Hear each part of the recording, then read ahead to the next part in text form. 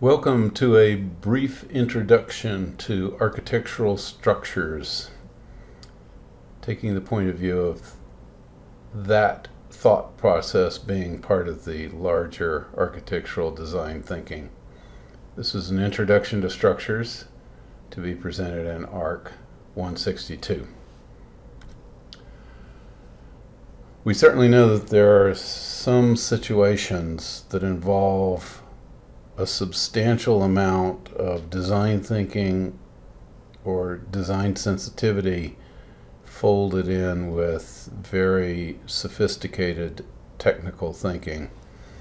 High rise buildings are an example where we know the loads from hundreds of floors elevated above the ground are very high, and those loads need to be taken, those forces need to be taken very efficiently to the foundations.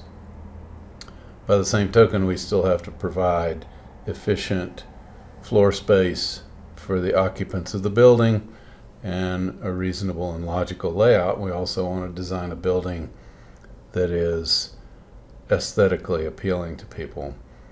This is the John Hancock building in Chicago, which was designed by Skidmore, Owings, and Merrill. It has a taper to it, which was incorporated to reduce the surface area that's exposed to wind higher up in the building. It also causes the vortices, the wind vortices that are being shed near the top of the building to be of a different size from those at the bottom of the building and therefore of a different frequency. So this taper helps to do something we call confusing the vortices or disorganizing the vortices. And that becomes really crucial because if you have huge vortices that are being shed and the entire wind shedding process has a single frequency to it, if that single frequency matches the natural fundamental frequency of the building, then energy can build up in the building over a series of cycles.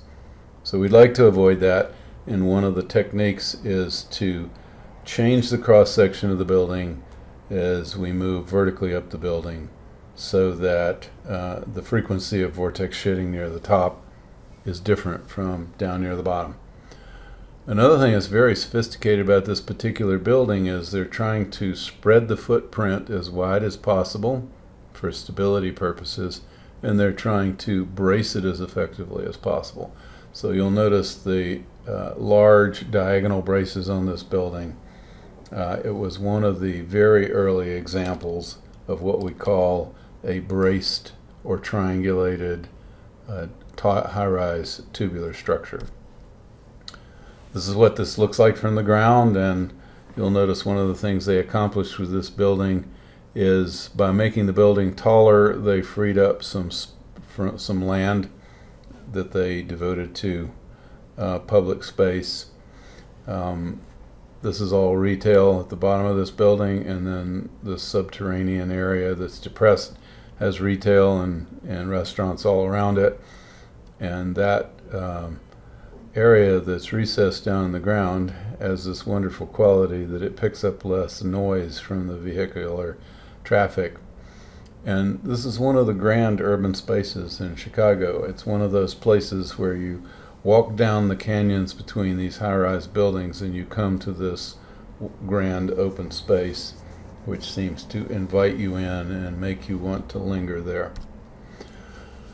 Another example of technology influencing the aesthetic of a building. This is the Hearst building in New York. The basic concept is that unlike other triangulated tube buildings, which have some gravity columns, which are vertical, and then bracing elements, which have a slope to them, those bracing elements don't participate in any meaningful way in resisting gravity loads, except that they hold the vertical elements vertical so that they will carry the gravity load.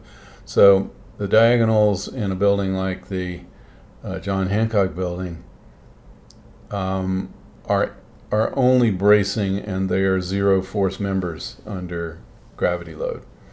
So this is an example of a diagrid concept where the designers said rather than have some verticals that carry gravity and some diagonals that carry horizontal forces, why don't we slope all the members and connect them together in a way where they all participate in resisting gravity loads and they all participate in resisting horizontal shear forces.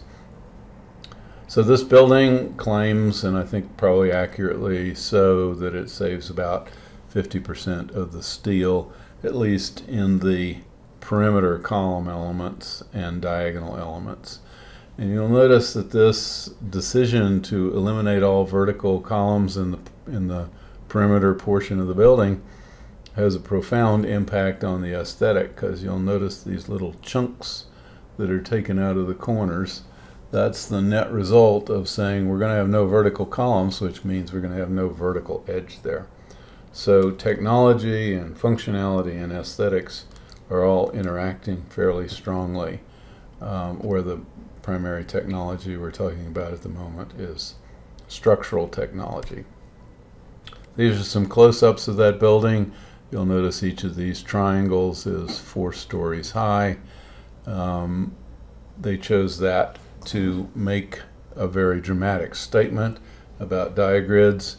Uh, you can also make the triangles one story high, which is in many ways even more efficient, but also it runs the risk of looking a little busy.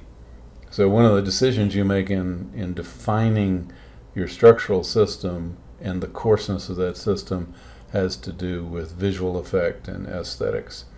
And the images on the right here just show some of the complexity of the joints that were used to connect these elements together.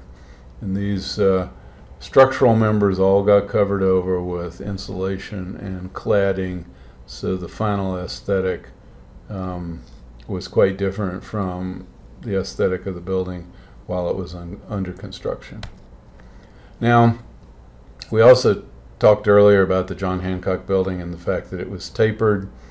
We can carry this concept of tapering to the ultimate extreme where it tapers to a single point at the top. The John Hancock building in many ways was more practical because every floor had enough floor area to uh, warrant having elevators coming to it and every floor uh, had enough floor area that it could be worked out in some kind of efficient way. This is a Transamerica building in, in San Francisco. It's an incredibly dramatic building which changed the skyline of San Francisco before people who looked for identifying um, markers in the city of San Francisco looked for the bridges. And after the Transamerica building was built, we all look for the Transamerica building as the identifier of the San Francisco skyline. So um, as a visual statement, it was very powerful.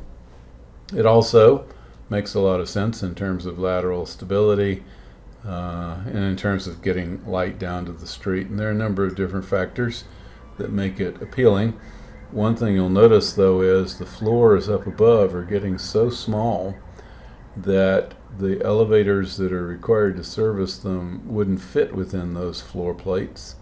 So these odd shoulders or protrusions are actually the elevator shafts uh, going to the top occupied floors in this building. And then this portion from there on up is really not prime real estate. So you'll notice there are no windows in it because the floor plates that would exist there would be too small. Another very dramatic example of this notion of the tapering of the building, which again I remind you we're doing to broaden the base, to reduce wind load on the top of the building, and to um, confuse or disorganize the vortex shedding process so that we'll never get very strong influences stimulating the fundamental frequency of the building. This building had an interesting uh, history also in that a certain portion of the material that got added to the top has no function other than to alter the fundamental frequency of the building. So they're basically detuning the building from any of the natural frequencies that are occurring either in the vortex shedding process or in seismic events. So some of this material actually got added to increase the natural frequency, uh, excuse me, the natural period of oscillation, to put it somewhere in the neighborhood of 10 seconds so that the movement of the building would never be really dramatic or disturbing to people, but also that's a frequency or a, or a oscillation period that's well outside the normal range of any vortex shedding or any seismic events. This building, by the way, is incredibly simple. It's braced laterally by these huge shear walls, which also flank the uh, corridors um, and so these shear walls provide really great fire isolation and fire protection. They set a really big footprint by coming all the way out here and out here and out here. So there's a triangulated footprint or a sort of tripod base. Um, these walls are sometimes called buttresses. So this is the buttressed core concept. This uh, central wall is uh, an enclosed tube which helps resist uh, the tendency for this to buckle torsionally and collapse towards the ground. Uh, so the building cannot twist because of this tubular element. And also these elements are integral with that wall and they also participate in carrying gravity loads and resisting overturning moments. This building is unbelievably simple. Every one of these floors is an 8 or 9 inch thick slab of concrete, which is just the right thickness to span from that wall to that wall. And it's thick enough to put in all the J-traps and all the plumbing so that each floor is a 9 inch thick floor which incorporates all the all the plumbing and all the electric wiring. And so with the proper finishing of that ceiling the interstitial volume is literally only nine inches. Um, the other wonderful thing is the load from every one of these slabs gets delivered to that wall and then delivered straight down to the foundation. Those walls are continuous all the way to the footing of the building, which means there are no beams, there are no girders, there's only slab and bearing wall in this structure. It's the reason the structure is so economical to build and so phenomenally efficient that uh, in the 40 years prior to the building of this building, high-rise buildings had nudged up in height by about 22%. This building in one single stroke increased the height of the tallest building in the world by 60%. 40 years of building produced 22% this simple and imaginative structure zoomed that number up by 60%. Historically, we have some grand examples. Um, this is the Eiffel Tower, which was built before 1900 and remains one of the most extraordinary structures in the world. It's unbelievably beautiful. It's unbelievably rational. This shape right here mimics the overturning moment curve. So the structure is not just tapering, but it's actually getting progressively wider um, as it goes down. Um, Eiffel had an amazingly good sense of, of uh, the nature of the internal forces in a structure like this. And this stands as a marvel to this day of an efficient geometry in terms of the distribution of forces. If you ever go to Paris, you should spend a lot of time around the Eiffel Tower. Um, that concept has also been mimicked in some buildings. This is Bank One building in Chicago, uh, which has this curved taper to reflect the internal resisting moment or the overturning moment uh, for this building under wind or seismic effects. Um, sometimes we go against the grain of structural logic or we we really stretch ourselves in terms of our ability to deal with structures because we're driven by various kinds of architectural um, or environmental factors. This is the uh, Citigroup Bank building in New York.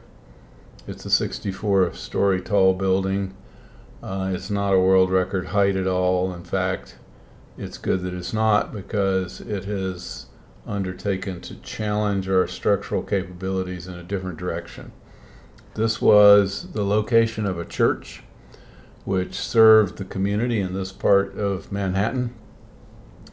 The feeling was that it was going to be a hard sell to buy that piece of property and that there would probably be a lot of ill will afterwards, if, even if they succeeded in buying it. So the people who were working on this building decided that they were going to try a different strategy, which was they were going to notch their building. So this notch right here was to make room for that church. And then they even offered to rebuild the church. So they built a larger and better church and then bought the air rights above the church. So what they've done is they've notched the building back, or if you wish, they've, they've cantilevered it out. But every all the loads are being brought back from this face to a single column here, and all the loads from this face are being brought back to that column. Now they actually started off by just notching the building on one side. That was the concept. And then once they figured out that they could do that, then they said, well, why don't we think about whether we want notches anywhere else? And of course, it immediately sprang to their minds that in fact there was an opportunity on this corner which might be even greater than the opportunity there because this was going to pull back from this really busy intersection in Manhattan and provide a public space. So they did that.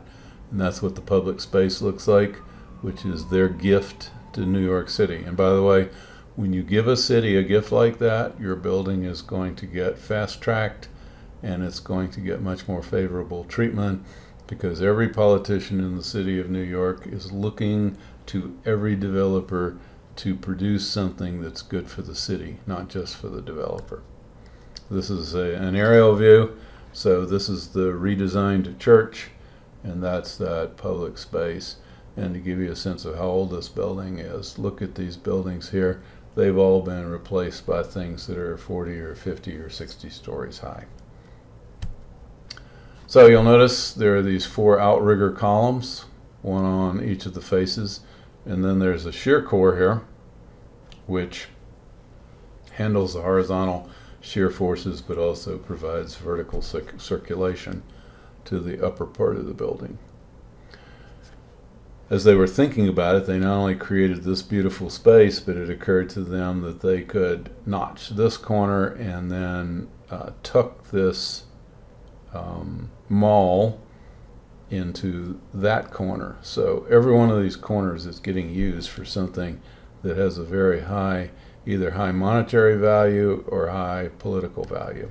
And this is the interior of that mall, which is a pretty cool little building all in itself. Okay, so we have all these loads which are coming down this building and they're getting uh, collected together in this column. And this is the mall we were just talking about. And this was the concept that was drawn by William Lemessurier, who was the engineer on this project, in response to a request by the architect to consider the possibility of notching the corners of this building. Um, and this was his idea, was that you could still have a pretty broad base uh, if these columns were brought all the way out to the face, these columns right here. Um, in order to handle this very substantial overhang, he could have put in a gigantic transfer beam here, but he was much more efficient and logical in his thinking. So he's got a series of these struts that collect the loads together. So um, every uh, eight floors is carried by uh, a pair of these struts and the loads get accumulated on the center line. Or here these struts bring the loads to the center line there. And of course, this column becomes a very, very substantial column. And then it flares out and becomes larger and is trussed because this column now is very long and very vulnerable to buckling, whereas these columns are much shorter and are much better braced. But you notice he's taken uh, account of gravity loads, but he's also drawn these diagrams of wind against the face, and he's showing the forces that are necessary to keep this building from toppling over. So we have an increased compression force there and a tension force here that hold the building down. It's a brilliant piece of work from an engineering point of view, but it's always a also in my mind a brilliant piece of urban design. Here's another building that was designed to free up some of the ground plane. Um, this dimension in this direction from right here to there is about 300 feet and there are about 10 stories in this building.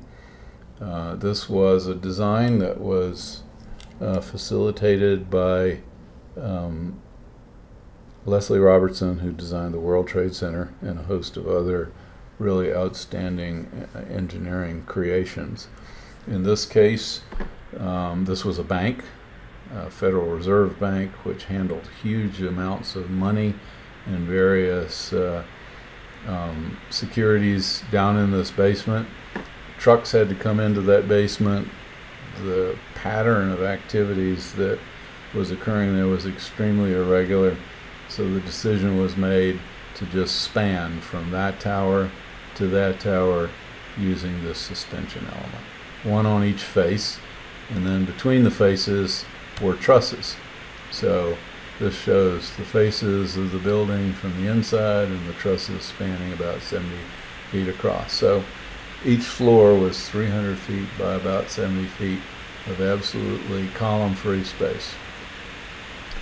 Um, above the tension member or the suspension member, there were compression members that were handling loads as columns, and they're rendered as wide flange beams or column-like elements. Below the suspension element, these are suspenders or elements acting in tension, and they were rendered as one inch by eight inch plates in order to have the absolute maximum transparency for all the spaces down below that suspension member. To kind of emphasize the relative nature of those things, this is the line of the suspension member. These are some of those compression members up above that are acting as columns. The glass has been pulled back um, to allow us to see the bulk and weight of those compression members and then they've been clad in some fairly deep um, mullions, which are intended to further accentuate um, the heavy weight of those things. And then here, where we have the slender suspenders, the facade has been brought out to the front and rendered with relatively fine mullions uh, to reflect the fact that that's lighter construction. So this is one view of the building, and here's a view of it off from the side. An extremely dramatic and fascinating building, which has many technological features that we'll get to talk about in our structure class next year. Uh, here's another building that's attempting to do the same kind of thing. Down below here are a series of rails uh, that are leading into one of London's most uh, heavily utilized train stations. Uh, those rails where this site occurs are very irregular. They're curving, they're changing their position in space, and because of the irregular nature of the layout of those rails, it became really difficult to come up with any kind of rational, regular column grid. Uh, aside from that, though, there was a feeling that those columns put the trains at risk and the trains put the columns at risk. And so the decision was made to span from here to there. And again, it's in the neighborhood of 300 feet. It's a city block that's being spanned, and it's being spanned by this parabolic arch. There's one on each facade, and then two more in the core of the building, which allows column-free construction everywhere down here. And in fact, the glazing around the the um, entry lobby down below doesn't even really quite come down and touch the pavement, um, which is sort of an illustration of the fact that um, everything there is floating up above that construction. This is called the Broadgate Exchange House, and if you're in London, you should go see it. This is the tie member, so this is that parabolic arch, and there's a tie member at the bottom that keeps it from spreading outward. Now, in addition to tall buildings um, or or fairly tall buildings, like 10 stories high and uh, needing to span, like the Federal Reserve Bank or the Broadgate Exchange House, we have numerous other situations that involve long span and structural challenges. Certainly, athletic stadiums fall into that uh, category, but also um, many of the spaces that we design for airports, which we want to be grand spaces that are civic symbols, but also give people a feeling that they can breathe and that they can see how the building is organized and understand where they need to go. So this is the international terminal of the San Francisco airport, which was designed by Skidmore, Owings, and Merrill. All these structures that I've been showing you uh, are driven either by practical architectural considerations or um, the goal of structural efficiency. Sometimes we can be playful with structures, and uh, for example, we could start with this interlaced uh, triangular trusses, which we do because it's beautiful and it's elegant and it's efficient. And then we might just say something like, what if we scaled it up and then tried to inhabit it? Now, normally I don't advise people to do that because uh, I'm always reminded of Buckminster Fuller's story that um, if you were on a sinking ocean liner and you didn't have a lifeboat but you had a grand piano, you might think a grand piano would work pretty well as a lifeboat. Um, and it might save your life. On the other hand, if you were going to design a really good lifeboat, you wouldn't start with a grand piano. So I'm always a little skeptical with the notion that we're going to play games of this sort where we just ask, well, here's something, can we use it for something completely different? We have to really look at that and see. So here's an example though. Here we have these interlaced uh, trusses that create what we call a space frame. We can scale it up and turn it into a building. And this is the World Trade Center in Portland, Oregon. It's certainly nothing like the World Trade Center in New York, but it's it's an absolutely exquisite little building where that space frame has been scaled up and then people are trying to inhabit it. So this is the entry level.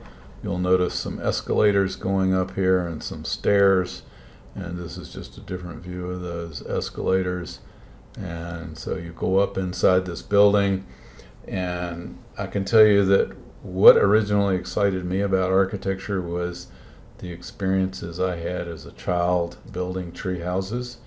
And this is, as a building, the closest thing I've ever experienced to the feelings that I had when I created tree houses. There's a great sense of, of just opportunity that you can move through all this structure and find a way to inhabit it. And it may not be the most efficient thing in the world, but the feeling that you get from that is a really incredible feeling. It's a very cool building. Okay, so that's a real quick scan through a bunch of examples of how structure is powerfully important, specifically in certain situations, such as high rise buildings or long span buildings. You're going to have to deal with structures in a lot of buildings that may not be as demanding as that, but you still need to think about structures and understand how to deal with them as a part of your design process. So I'm going to hit four topics here that we're going to deal with in ARC 331 and 332, and they are in order conceptualizing structures, how do we think about them and come up with ideas, then we're going to talk about guidelines for spans and proportions because once we know that we're going to use a beam or a truss or a bow truss or whatever, we should understand what sort of proportions those things have and how far we can logically push them uh, in an economic way in order to make them work for us logically. Then we're going to talk about tables. Um, and this should have said tables for sizing standard structural spanning elements. And then finally, we're going to talk about computer simulation tools that can be used to design some pretty simple things or immensely complicated things. So we'll start with conceptualizing structures, and one of the themes we're going to deal with quite a bit in your structures class is the idea of mutually bracing sheets of material. And this may be at a, at a fairly small scale, like in the design of a beam, or it could be at the scale of a large building. So if we start with a little 16th inch sheet of styrene plastic and we try to turn it into a beam, it clearly doesn't work very well. Under its own weight, it's sagging and collapsing through. And if this person didn't have his finger under this, it would have collapsed through. So it's not working as a beam in that orientation. So one of the things we learn is depth is important for your spanning member. Um, and so we take that same sheet of material and when we set it on edge where it's in a vertical plane, it now can hold some load as not just its self weight, but a little additional weight. One of the problems though with a thin sheet like this is the top part of this beam is in compression, the bottom part's in tension but the, the top part's in compression and that part wants to buckle uh, under that load and the way it does is it just moves to one side or the other.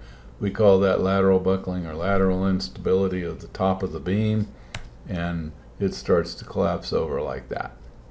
Now we can take this three inch sheet of styrene and we can cut it into say three one inch strips and we can glue them together into an I section or a wide flange design and now you'll notice that even though this is not as deep as that three inch sheet set vertically in other words it's not as deep as that it's holding a lot more weight and the reason is that each of these planes of material is bracing the plane to which it's attached so for example, the top and bottom sheets of this are fairly strong horizontally.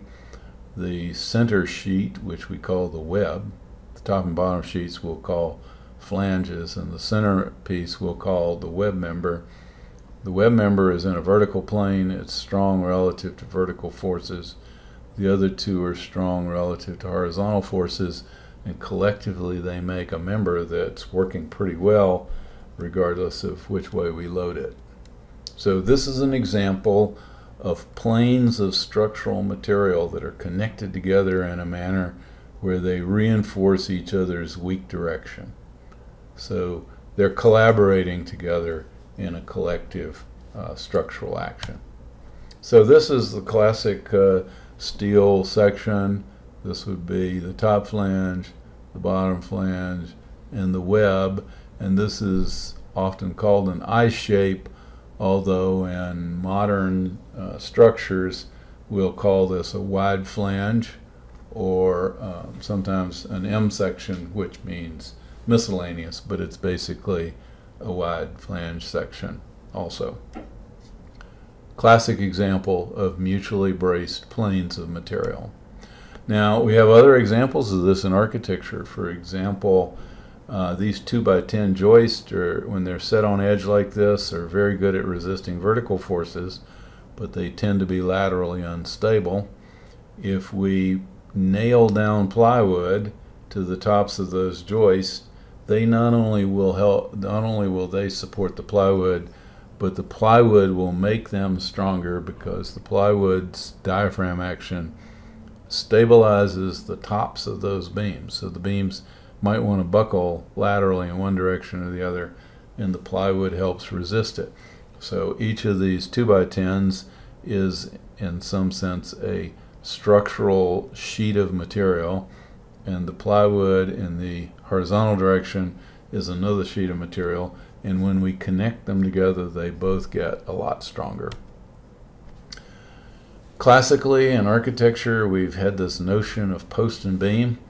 Um, we have wood members of, of uh, finite length, and we're tempted to put a beam on top of two columns. One of the problems with this is that under lateral force, um, the weakest part of the structure is the connection, and that also happens to be where lateral forces produce the, the most deleterious effect. So post and beam structures have been classically not very successful, particularly in wood, where it's very difficult to get a tension connection there. So we'll often put something in here called a sniff, stiff knee, and in this direction the stiff knee would go into compression and would work pretty well. But if we have it over on this side, it'll be put in tension, and typically our connections are not very good in tension when we're connecting pieces of wood together. So post and beam was not a tremendously successful or very efficient structural system. Now we can make it work better. Here we have some 2x4s that are being nailed together in the classic manner in which a building gets built, stick built, uh, wood frame building in this country. And this would be a wall.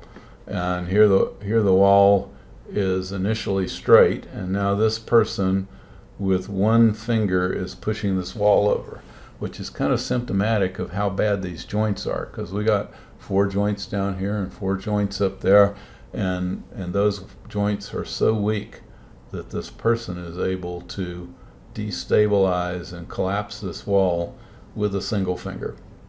Now we can nail a perpendicular sheet of material, in this case it's oriented strand board, which we use as sheathing and on stud walls like this.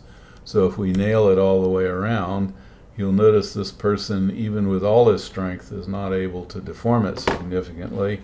And in fact, the major deformation you're seeing here is that this side is tending to lift up and that side push down.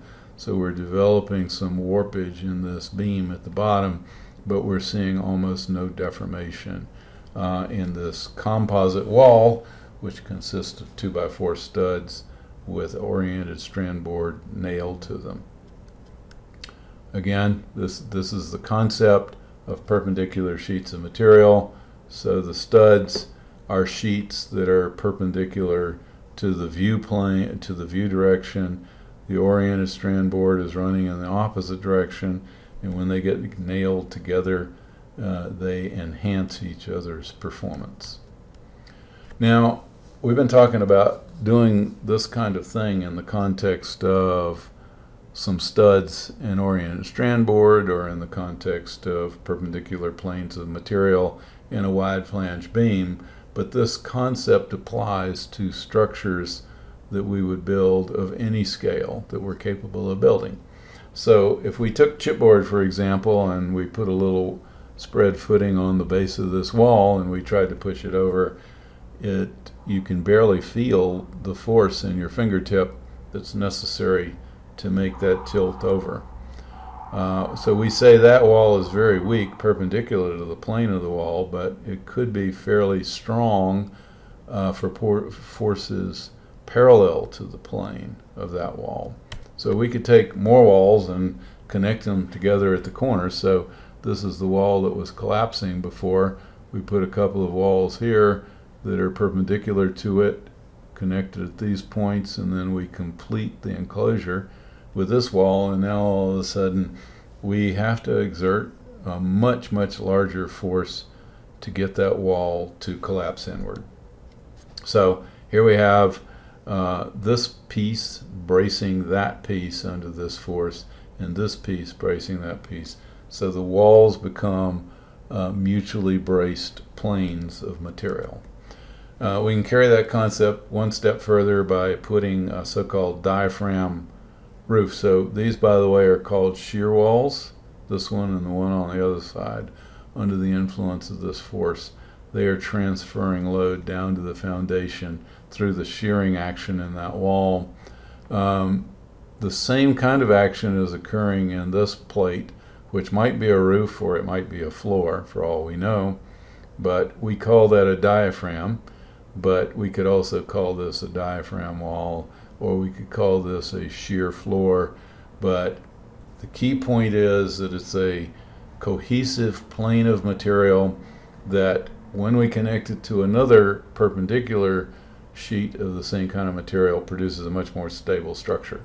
So now all of a sudden this wall is stabilized by the shear wall at each end, which would be this and the one on the other side, and it's also being stabilized along its upper edge by the diaphragm action of this sheet of material, which as I said, might be a floor or it might be a roof.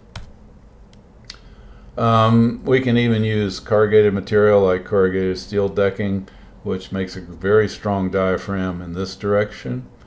Uh, it's not quite so strong in that direction, but interestingly enough, we typically have material periodically that connects a whole series of these flutes, as we call them, together. So if we have a truss that runs all the way across the space and another one there, they're going to become substantially effective in keeping that wall from collapsing over. So this would be a, a, sort of classic case where in the direction where we get this accordion deformation or the weakness in the roof diaphragm, uh, the roof diaphragm is now welded down at every one of these flutes there and there and there and there.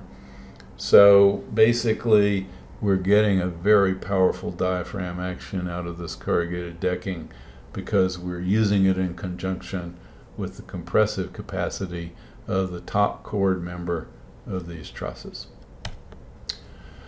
Okay, so let's talk about using various techniques to create stable planes of material to help create mutually braced planes of material. Here's a sort of flimsy structure that hasn't been articulated in a way where it's working particularly well, particularly under this lateral force of my finger. So we can stabilize that with shear walls and a diaphragm roof or roof and floor in this case. Um, these shear walls tend to have fairly small punched openings because the idea is, well, the wall works pretty well as a shear wall, but if we cut really huge wall, holes in it, it's not really a shear wall anymore. So in most of our houses in this country, they're made out of stick-built construction, out like this. If you go cut giant holes in them, they don't work too well. So you'll find things in the code that'll say on the top floor of the building you can have such and such a percentage of the wall cut away for windows and the next floor down it's some smaller percentage and the next floor down it's an even smaller percentage. But these are guidelines to keep you from decimating your shear wall. And so the aesthetic of this ends up being this sort of punched opening aesthetic. And just to be a little insulting I made these openings. But also to make a point I made these openings kind of small to remind you that you can't put huge gouges into your building and still expect it to work. So this is the concept of shear walls as a way of laterally stabilizing the building. We can also triangulate it. We can truss it in a whole host of different ways. Here we're showing cross bracing, but it can also be um, some other configuration. So this gives us light and possible ventilation through this wall, but probably not very good passage for people who might, you know, whack themselves on these cross braces. And this is the third concept. This is the so-called rigid frame, which allows a lot of light and cross ventilation and human circulation through the openings. So let's talk about this. Um, this can be used either on sort of low and mid-rise buildings. This is an example. This is a fairly complicated looking building, but if you strip away all the members that are not part of the lateral bracing system, this is what you have. So buried down in here, you have a triangulated frame right there, which we call a braced frame. And here's another brace frame right here, and then a couple of more in there and I'm going to strip away everything that's not braced frame and that's what you end up with. And so this is a photograph of this building while it was under construction. You notice we didn't use cross bracing, we used this so-called chevron bracing because we wanted to have openings or doorways and we wanted to have as much flexibility as possible for people to move through those braced frames um, to maintain the architectural connectivity of the spaces. It's just another view of that building. Now, we can do everything from sort of low-rise, medium-rise buildings of that sort up to something very tall like the John Hancock building, which is basically cross-braced for stabilization. Now, we also have moment frames. And here is the Sears Tower, which is based on that concept. And this is what the, the moment frames look like in that building. Um, these are wide flange sections. These are actually welded up plate girders uh, that create the columns. The horizontals are made out of the same kind of material. We can do full penetration steel welding so by the time they welded all these parts together, you couldn't tell whether this material was the continuous material or whether this material was the continuous material. In other words, you couldn't tell what was there first, the verticals or the horizontals. These joints are all incredibly accurately welded. They're full penetration welds. Those are done in a shop, that one and that one and then this whole strange cross structure is brought to the site and bolted here and there and there and there. So, and I should say there and there. So the field welding is done at the least critical locations, uh, excuse me, the field connections, and they're all bolted connections, and the really crucial connections at the joints, at the intersections of the members they're welded, they're full penetration, and they're done under shop conditions. So this is what that rigid frame structure looks down at the base of the Sears Tower when you're just entering into one of the lobbies. A really beautiful structure. And of course, you know, that's the old raw steel, which is the structural stuff. This is then a really beautiful cladding of stainless steel some of it shiny and some of it brushed and it's really quite exquisite to see and also a beautiful experience to walk through it and understand how crucial it is uh, from a structural point of view. It looks very beautiful. It's very aesthetic. You'd almost feel like somebody deliberately designed it just for aesthetic reasons but it was born out of really practical considerations of a structural nature. Okay, so perpendicular planes of material we were talking about earlier. Here we have a truss. So this truss can be thought of as a plane of material because it's a stable plane. It's fully triangulated. Here's another concept of a plane of material, which is this wide flange beam or girder in this case. Um, so we have all those examples of perpendicular planes of material. Sometimes we have perpendicular planes of material without it being obvious because they're not really planes, they're more surfaces. So here we have a curved structural element, which we call a barrel vault. It's fairly strong against forces along its length, but it's really weak against lateral forces like this. And this shape, by the way, under an asymmetric gravity load or under wind load, um, we call roll through deformation, roll through buckling is a common form of failure in barrel vaults. We can create perpendicular planes of material by taking two barrel vaults and intersecting them at 90 degrees to each other and then carving away all the material that would exist underneath each of those barrel vaults. This produces something we call a groin vault or a cross vault and these planes of material or these surfaces of material, sheets of material, are much more stable by virtue of the fact that they are at an angle where they tend to brace each other and they're connected together along this line or down in the groove. Sometimes, again, we, we have mutually braced planes of uh, sheets of material that flow into each other to such a degree that we don't conceptually separate them. But this is a dome. It's glued down around the perimeter. Uh, when it's pushed on laterally, it's a pretty stable structure.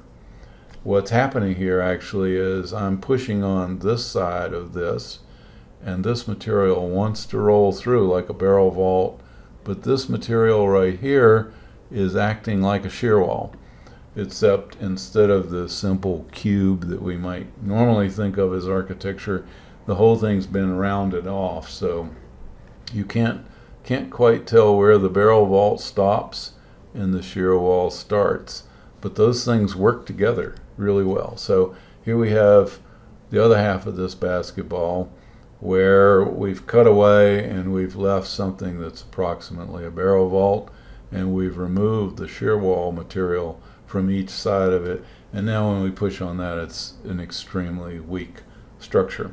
So a dome is an example of a shape which has, even though we don't see the, the individual separate planes or sheets of material, they're, they're there and they are bracing each other very effectively. So a dome is an extremely efficient structural system. Okay, so that has to do with conceptualizing structures as mutually braced sheets of material. Now I want to talk about guidelines. And by the way, the first two of these things, the whole conceptualization of structures and then the application of guidelines for spans and proportions, these are things that you absolutely will do as architects. They're, they have almost no numbers associated with them, but they're profoundly important in terms of you being able to come up with a, a conceptually logical design that will accomplish the architectural goals that you have. So, guidelines for spans and proportions. Um, we use these to do preliminary sizing of standard structural elements. So, for example, uh, these are called parallel chord trusses because here's a bottom chord, there's a top chord, they're parallel to each other. They're very easy to make. They're very structurally efficient. They're very inexpensive. Um, they have some limitations, though. You can't make them too shallow. So we'll have guidelines for how deep they can be, uh, or how deep they need to be, rather, as a function of how far they're spanning. Likewise, this wide flange here has to have a certain amount of depth in order to be structurally efficient and logical and we will have guidelines for how deep it needs to be. So for in your book and in ARC 331, we'll have guidelines of the following sort that say if you have a simple span, meaning it's supported at each end, a simple span beam that's a wide flange steel beam, um, its depth can go as shallow as its length divided by 28 or might go deeper to L over 18 in some circumstances where you have enormously high forces, like if you were trying to do a transfer beam at the bottom of a 100 story building, you might even go deeper than L over 18. But in most practical applications, lightly loaded beams will be on the shallow end of a depth around L over 28. Heavily loaded beams will be more in the neighborhood of a depth that's at least equal to L over 18. So that's an example of a guideline. And by the way, for a wide flange beam, we're saying it's typical that they don't span over 80 feet. If you're going over 80 feet, you do something like a plate girder or a truss or something that you can make deeper. We don't roll these sections deep enough to go much beyond 80 feet.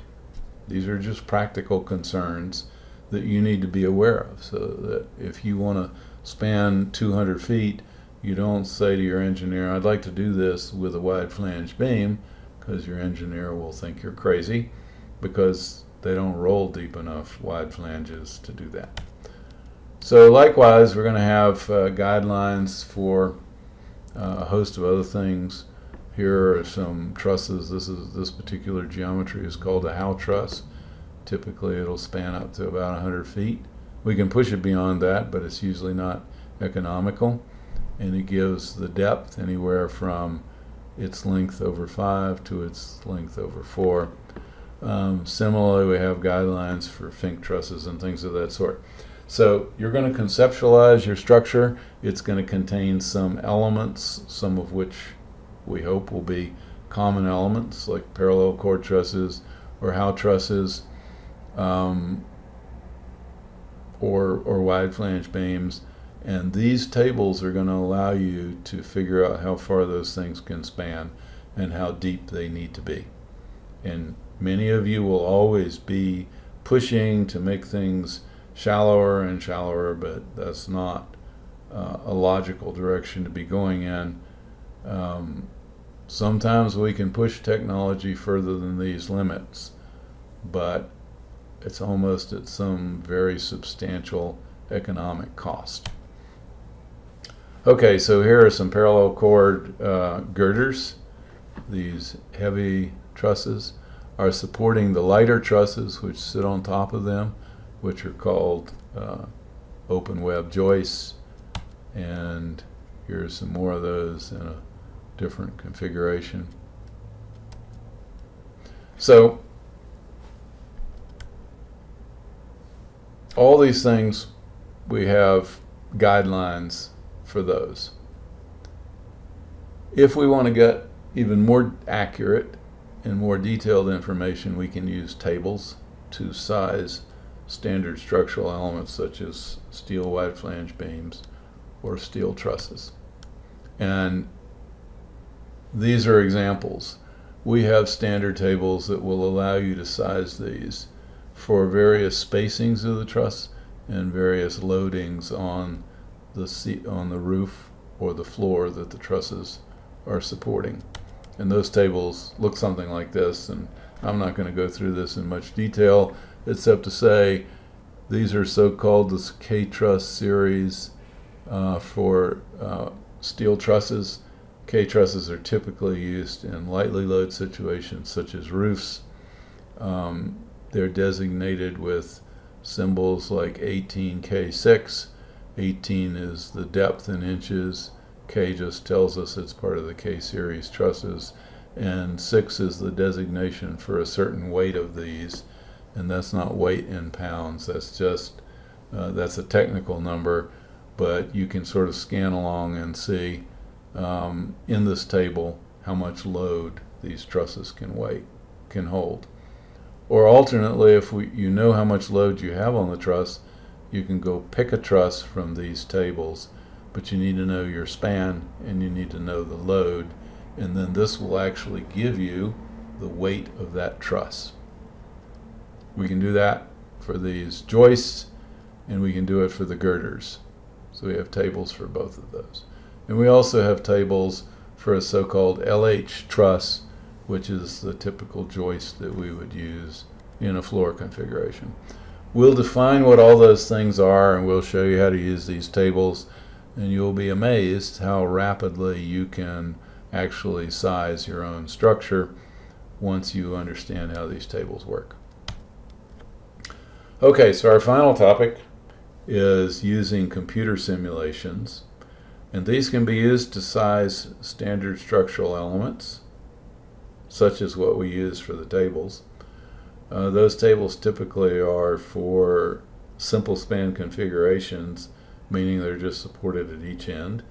As soon as you go to something that's cantilevered, you probably need to either do some very detailed hand calculations or a computer simulation uh, because we can't publish tables that are extensive enough to deal with every kind of cantilever configuration that you might have.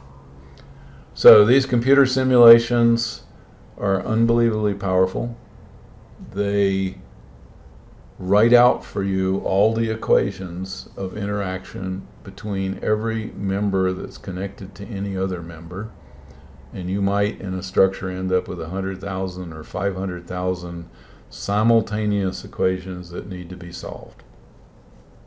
Most of you remember from algebra how annoying it can be to solve a system of three simultaneous equations. Imagine having to do 50,000 of them. Our computer programs do that with unbelievable, unbelievable speed and amazing reliability. Okay, so here's some examples. Uh, this is a parallel chord truss that has been analyzed and the size of this flag right here indicates the magnitude of the axial force in that member. So a deep flag means a large force, a shallow flag means a small force. In the top chord we have the smallest forces near the end, the largest forces in the middle. In the web members we have the smallest forces at the middle and the largest forces at the end. And you'll discover that these chord forces vary parabolically, so they don't just ramp up in a straight line. On the other hand, these web members do ramp up linearly, so this particular one is larger than that by a certain amount. This one is larger than that one by the same amount. So every time as we move a bay further out, we're adding the same amount of force to that diagonal member. Now we can take this material and we can reconfigure it. We can make it zero depth on the ends and some larger depth in the middle, which produces something like this bow truss. You'll notice the bow truss is deeper than this parallel chord truss, and so the forces have a better lever arm and the forces can be smaller. So the flags right here are a lot smaller than the flags right there. Uh, you'll also notice that in the bottom chord the forces are absolutely constant. In the top chord they're slightly larger here than they are there, but in general, because the truss is deeper, all these chord forces are lower than the worst chord forces there. So bow trusses are amazingly efficient for roof structures.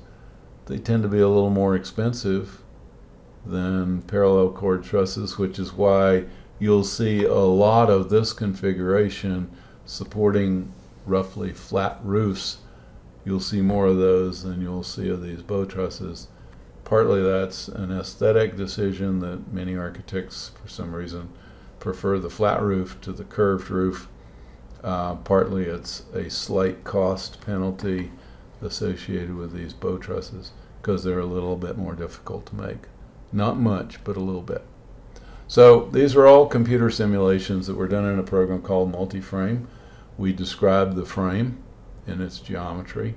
We attribute to every one of these members some kind of a section, which might be a steel angle or a steel double angle or a steel tube or it could be wood or something else. We did this in a program called Multiframe and Multiframe has within its library every steel section that's rolled in the world. So you can go pick whatever section seems to work best for whatever structural situation you're dealing with. Okay, we can deal with some things. And by the way, I should tell you, this is not difficult to analyze by hand. This is not difficult to analyze by hand. So these are not examples where the computer has taken us from um, almost hopelessly difficult to easy. Um, this is where the computer has taken us from tedious and annoying to easy. Here's an example that goes from really, really difficult to analyze by hand to easy on the computer. This is an elliptical curved element, which we're tempted to call an arch. This arch, though, is not acting in pure compression, which we would like an arch to do. Because of its shape, it's tending to bulge outward that way, sag inward here, bulge outward there. The computer has actually simulated that deformation, which for us to do that by hand would take a good engineer about a month to do without the use of a computer. The computer does it in almost no time. It's probably drastically exaggerated here, but if this is a slender member, even this wouldn't be an exaggerated deflection. But the, the beauty of the computer is it will exaggerate that deflection however much is necessary to help you visualize it. So the computer wants you to understand that this thing is sagging in here. So this was the original shape. This is the deformed shape.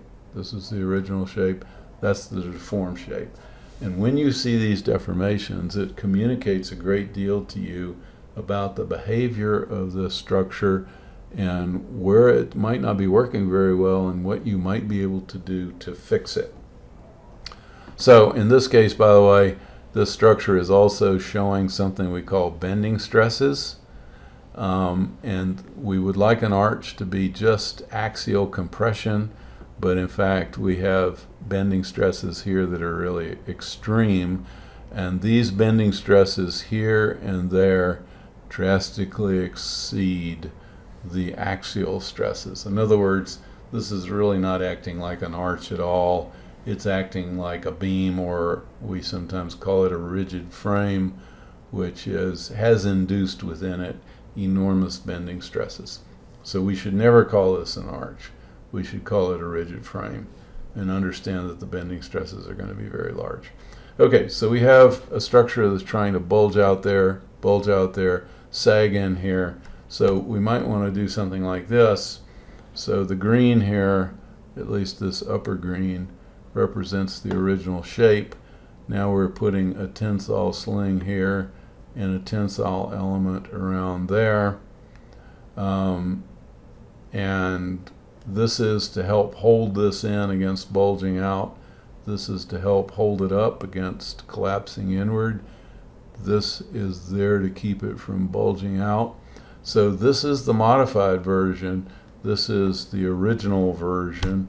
And when we go analyze it, we discover that when we truss it, like in the figure up above, we drastically reduce the amount of deflection. In other words, we're thickening this thing to help it get stronger where it was having the biggest problems.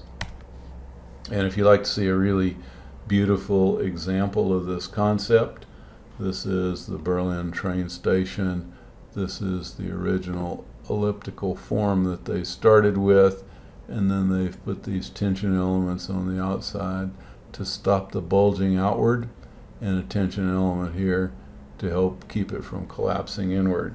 And those tension elements, by the way, are so delicate, they're even really difficult to see. But here's one set right there, and then on the outside, here's the set that's stopping the outward bulging. So these people basically said, we think this is a really cool shape, but what we think is even more beautiful is we're basically going to make our building like a moment diagram and the structure is going to communicate to us exactly how it's behaving. It's a language of structures which is really producing a really beautiful form. And by the way, some people prefer this elliptical version to the proper parabolic form because the proper parabolic form has a lot of slope here and doesn't give you headroom and doesn't give a pleasing space whereas this ellipse starts off essentially vertical in that zone and gives you a much nicer architectural expression uh, although it does so at the cost of all this additional material. Uh, that additional material costs money but it also has a very beautiful expression. Okay, so we can analyze other things. This would represent a truss, which is cantilevering past this point and that one. So there's a support point. There's a support point. This is showing where we have compression in the top chord, where we have compression in the bottom chord, over the supports and out towards the tip of the cantilever. So blue represents tension. Yellow represents compression. This is a very beautiful expression of what's going on in the structure. Um, this is a building that I worked on a while back, and we actually designed this building by just tweaking the geometry in multi-frame. Um, so this is a kind of a rasterized image. This is a fairly old project, and uh, the computer on which I did it uh, was not a very fine-grained image. Um, but the analysis was quite good. Um, it's just the computer wasn't graphically up to snuff, but this was the structural geometry. Um, here we have, uh, in this case, bending stresses and axial stresses for all the members in the roof. And I went through and tweaked all of these members uh, to get a really good balanced design by the time we got done. Okay, so the final topic I want to talk about, which all of you should deal with at some point, and much more so than is currently done in the architecture profession, is the whole idea of integrating uh, structure with other design issues and other subsystems. So for example, in a floor, we have something called the interstitial volume, which contains things like structure and ducts and um, uh, electric lights and conduit and things of that sort. So here's the design paradigm that we've had for the last 80 or so years since we had good electric lighting for buildings. It's actually probably more like 90 years now. Um, the team gets together and they say, well, we think we're going to have such and such a column span, and they look at the structural engineer and they say, how deep's your structure need to be? And the structural engineer specifies this dimension.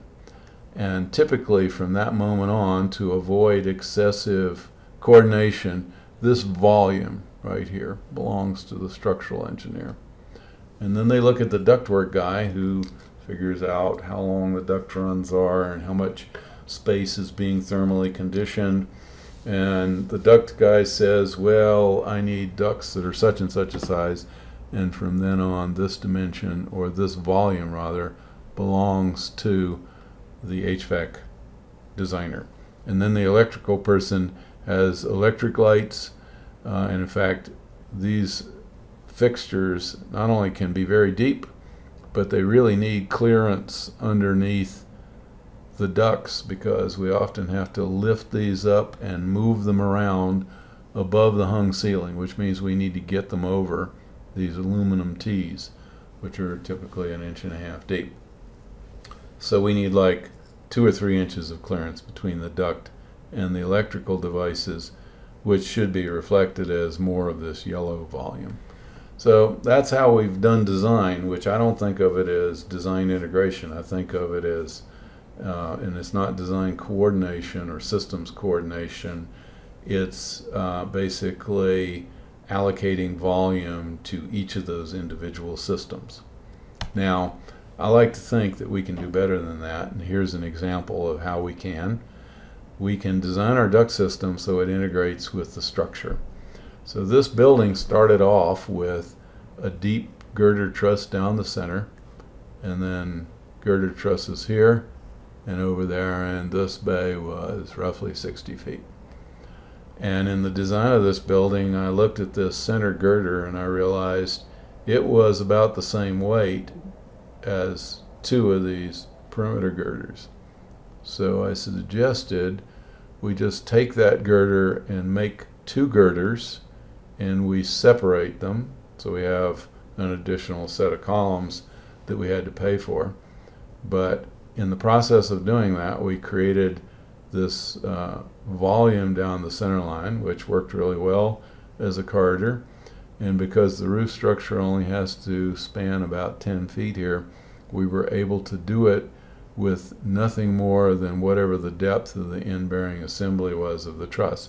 In other words, there's a little 5 inch deep wide flange beam there that spans that distance. That allowed us to put this huge HVAC trunk line duct uh, in the ceiling of that corridor space. And then we were able to run these feeder ducts between the joist trusses here. So in essence, we have uh, handled our entire HVAC system within the depth of the structural system. You'll also notice, by the way, in this case, I spanned the 60 foot direction with the joist, and then the girder is only 30 feet, um, partly because the girders are more heavily loaded and I wanted to use a shorter span to improve their efficiency, but also there was going to be parking under this building which means we needed columns that were spaced at least 60 feet in this direction, but we didn't need a 60 foot spacing in that direction.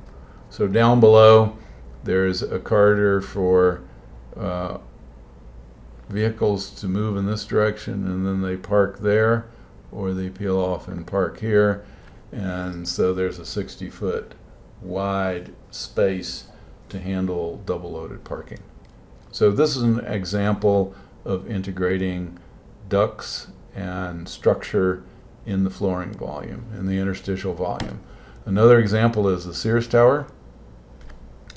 The Sears Tower uh, has trusses that are spanned every they uh, are spaced 15 feet on center. So here's a column back behind that wall and uh, it has trusses attached to it. And then there's another column right next to it right here which has trusses spanning into the space um, none of the horizontal spandrel elements on this building support any gravity load they're just part of the lateral bracing system so when we go inside this building, every 15 feet you have a column like this. It's part of this rigid frame structure. And all the trusses up above get delivered down through these columns. So there are no girder trusses. They're just joist girders, joist trusses that deliver their loads directly to the columns and then those columns carry those loads directly to the ground. So this is a plan view, by the way, of this building with a truss every 15 feet, the truss landing on the column. Uh, in order to have all these columns share load, some of the trusses run this way, some of them run that way, and they actually change the direction of the trusses every five stories uh, to assure a good distribution of load.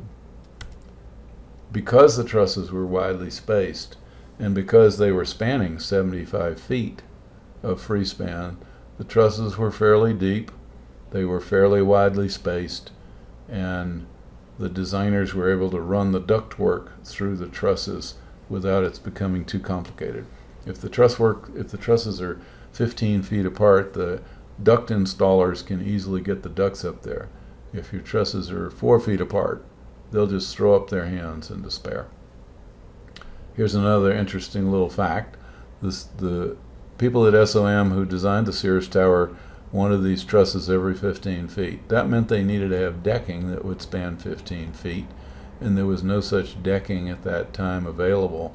So they put out a call for somebody to manufacture three inch deep steel corrugated decking. And when you're doing a building as big as the Sears Tower, people line up to offer to develop the rolling equipment to do that. So today we have as a standard item three inch corrugated decking, which we owe to this design, which pushed the technology to get us to do that. Another example of systems integration is in the roof of the building, integrating structure, ducts, and daylighting. Um, sometimes we put the trusses below. So this is a building that I worked on years ago. The building already existed, the trusses were there. We just peeled away part of the roof and put this roof monitor on.